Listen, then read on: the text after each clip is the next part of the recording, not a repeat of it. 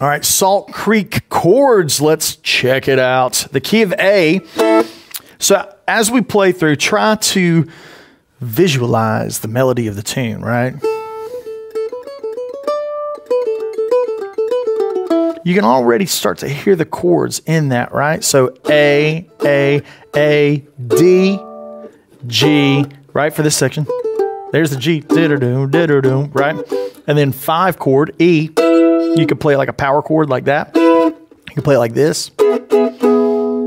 Right? Stacked up like that. Or you can play it like this. So if you're playing with the long bluegrass chord,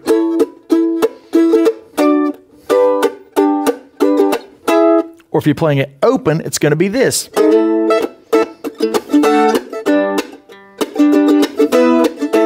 Right? Did you catch that? That's A, D, flat 7, G, 5. That's why banjo players, guitar players, and mandolin players really love this tune. Is like anytime we can get a flat 7, we get all these kind of cool licks. Right? That's why we love Salt Creek, right? So A, A, A, D, G, G, G, E, A, A, A, D, A, A, E, A. You start to see the themes with some of these fiddle tunes. It's like you start having the, the tune itself, and then when we get to the end of it, you have that typical one, one, five, one. So one more time at a light jog for the, the chords on section one. One, two, one, two, buckle your shoe. One, four, seven, five, one, four, one, five, one. So you see how the chords four and five only last half as long, right? So one, one, one, four. It's just a beat, and that's a transition to get us to seven, seven, seven, five. That's a transition to get us to one, one, one, four, one, one, five, one. Okay. The first section, a little more complicated than the back section. Here comes the back section. It's the part that's right? This one's easy. It's just one, one, one, one, seven, seven, seven, seven, one, one, one, four, one, one, five, one. So here's the melody again.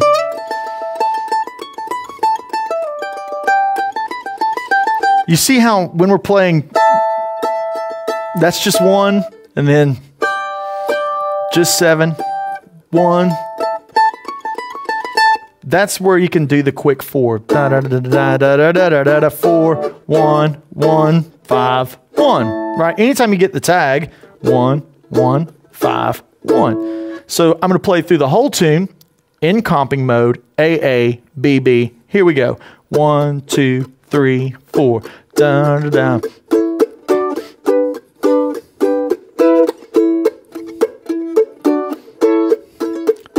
A section again.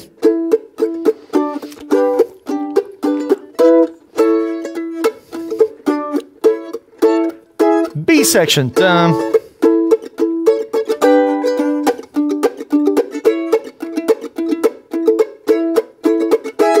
B section.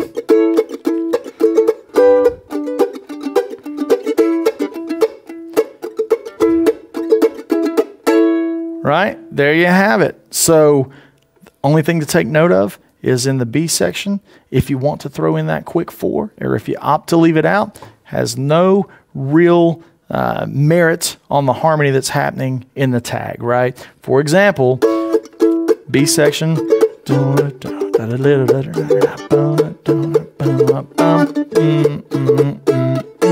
It's so quick you could do it without it. Here's without it.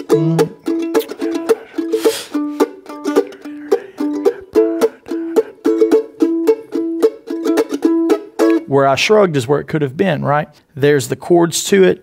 Be sure to check out the toolkit we've got. It's got the acoustic guitar, the melody on the mandolin, the chopped rhythm, the comped rhythm, if you will. We're going to have a lesson on the acoustic guitar chords, and you can take out any or all of those parts. It's not a bad idea if you take out the guitar and the chopped mandolin when you're comping. That way, you're the only guy carrying the rhythm. You can play along with the melody, check it out. in the lessons to come.